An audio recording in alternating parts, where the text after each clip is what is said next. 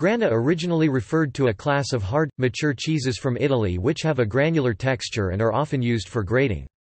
These cheeses are typically made in the form of large drums. The structure is often described as crystalline, and the wheels are divided by being split with a fairly blunt almond-shaped knife designed for the purpose, rather than being sliced, cut or sawn.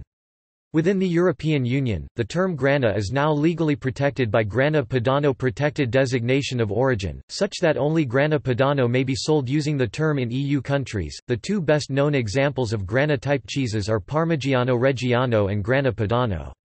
The two cheeses are broadly similar, with the latter being less sharp, crumbly, and grainy.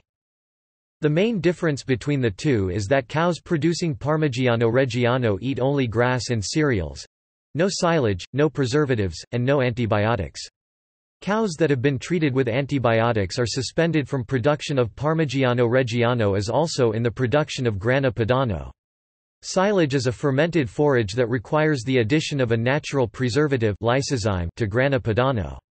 Feeding of silage and addition of lysozyme are forbidden in production of Trentingrana as well as Parmigiano Reggiano.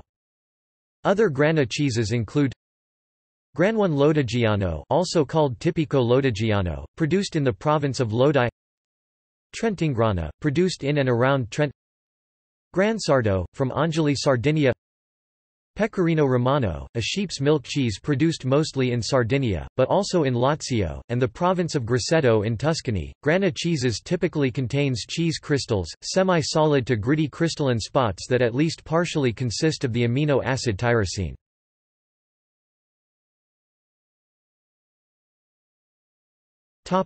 History